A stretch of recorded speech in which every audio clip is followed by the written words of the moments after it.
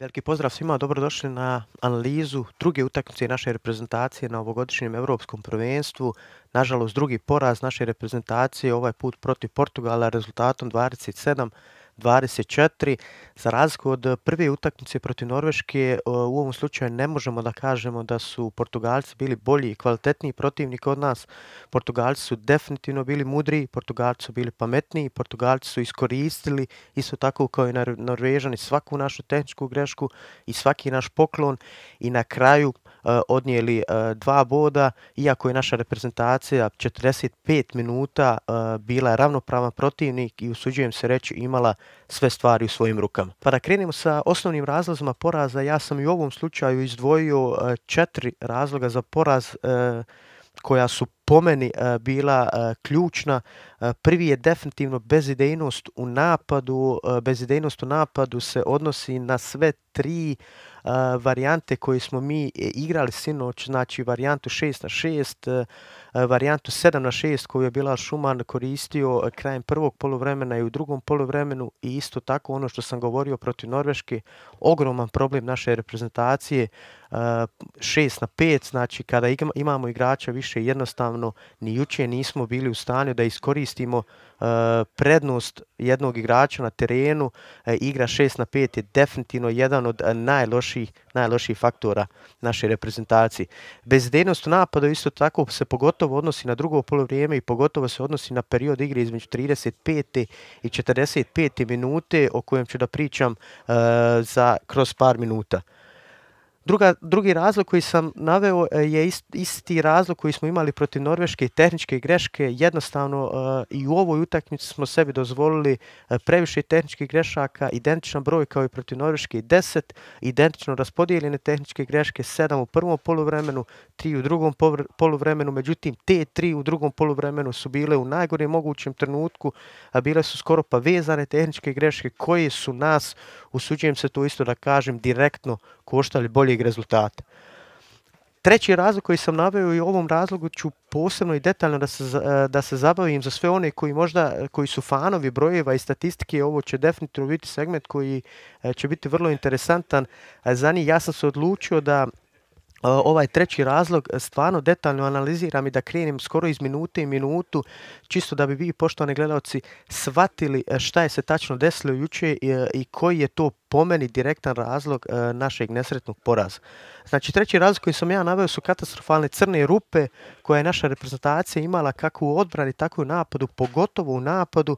E, prva crna rupa je bila tačno između znači, 36. minute i 41. minute. E, u 36. minuti Ibrahim Hasilić je postigao gol za 14-12 nakon što smo fantastično e, otvorili drugo polovrijeme, nakon što smo prokrenuli rezultat iz prvog polovremena i onda je počeo taj prvi E, nesvatljiv pad naše reprezentacije. Grahovac je odbranio sljedeći napad Portugalaca i mi smo imali nakon toga dva e, napada da se odvojimo na plus 3. Međutim, e, prvo smo e, napravili jednu tehničku grešku, zatim smo nakon toga u sljedećem napadu imali dosta loš izbor šuta na 7 na 6 i poslije toga su kola krenila nizbrdo. E, Portugalcu postigli glo, smaljili na, na minus 1. Nakon toga smo napravili još jednu tehničku grešku. Nakon toga su Portugalci izjednačili na 14, 14 i onda smo imali jedan zicer sa, sa lijevog krila koji nismo iskoristili uh, i poslije toga su Portugalci realizovali uh, 7 metara za 15-14. Znači, to je bila prva crna grupa koju smo imali. Poslije toga je se reprezentacija Bosne i Hercegovine uspjela da vrati uspjeli smo da prokrenemo i ta rezultat, opet smo poveli jedan razlike, međutim tada portugalski trener u 44. minuti uzima svoj drugi timeout na ovoj utakmici i poslije toga se dešavaju e, katastrofalni tri minute naše reprezentacije koji su nas direktno koštale uh, sinoćnjeg rezultata. Portugalci su znači rezultat 16-15 e, u našu korist e, preokrenuli serijom od 5-0 koju smo direktno mi uzrokovali svojim tehničkim greškama, e, svojim lošim izborom šuta. Može se reći da je to možda uzrokovano igrom 7 na 6, međutim ne bih toliko krivio sistem igre 7 na 6 koliko bi jednostavno krivio naše igrače u napadu. Dozvolili smo sebi u periodu od 3 minute tri tehničke greške, jedan isitreni šut i to je za reprezentaciju kvalitete Portu, e, Portugala jednostavno previše.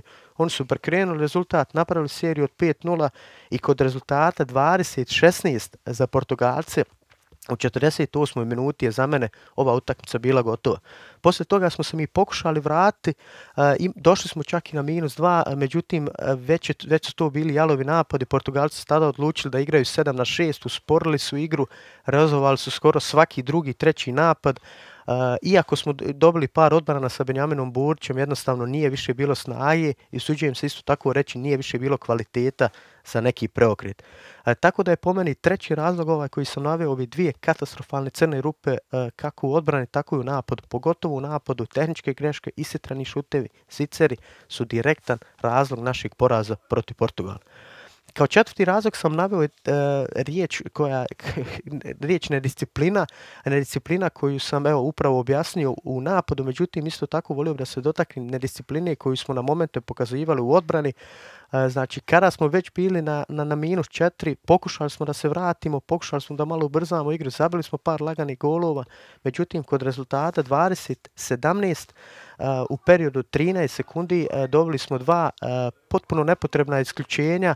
Portugalci su tada imali 6 na 4, jednostavno su mirno priveli taj period igre kraju i mirno su priveli, priveli utakmicu kraju. Znači, sinoć smo, nažalost, na momente pokazali e, veliku nedisciplinu e, kako u napadu, tako i u odbrani i ono što sam rekao, nakon utakmice protiv Norveške na jednom ovakvom nivou, na evropskom prvenstvu, protiv ozbiljnih reprezentacija kao što su definitivno Norveška i Portugal, mi sebi ne smijemo da dozvolimo e, ovoliki broj tehničkih grešaka u napadu i isto tako e, nedisciplinu u odbrani nepotrebna isključenja na, na dva minuta. Kao pozitivnu stranu i kao definitivno najpozitivniju stranu jučerašnje utakmice protiv Portugala volio bi da e, izaberem golmanu Nebojšu, Nebojša Grahovca. Pričao sam dosta o analizi naše reprezentacije, o našem golmanskom duu Burić i Grahovac. Juče je Nebojša Grahovac imao savršen dan.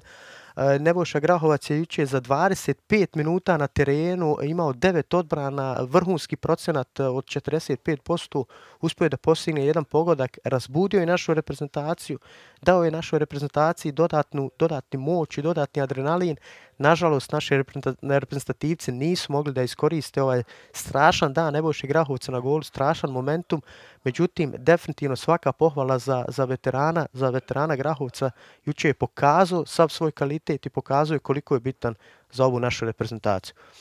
To bi bilo to, nažalost, e, jedan nesretan poraz e, naše reprezentacije od Portugala, međutim, e, takmičenje ide dalje. Mi imamo još jednu utakmicu na ovom prvenstvu, ni manje više protiv velike Francuske. Ja ću napraviti jednu kratku analizu reprezentacije Francuske, koliko je moguće da se analizira jedna takva evropska i svjetska sila. Uh, Eh, našim reprezentacijama želim sve najbolje. Eh, nadam se da će Bilal Šuman isto tako za ovu utakmicu da malo izrotira, da da igra, ostalim igračima šanse možda da vidimo Mirka Hercega, pogotovo Marku Tarabokiju. Uh, nadam se da će naše reprezentacije pokazati ono što su do sad pokazivali. Uh, nadam se isto tako da će to biti tokom svih 60 minuta. Uh, Francuzi su demoralisani, Francuzi su tužni i ljuti, puno više razočarani od nas s obzirom da su ispali isto tako u grupnoj fazi kao i mi. Tako da, ko zna, ljudski je se nadati puno sreće našim reprezentativcima u, u zadnjoj utakmici na ovom evropskom prvenstvu. Hvala vam puno na gledanju.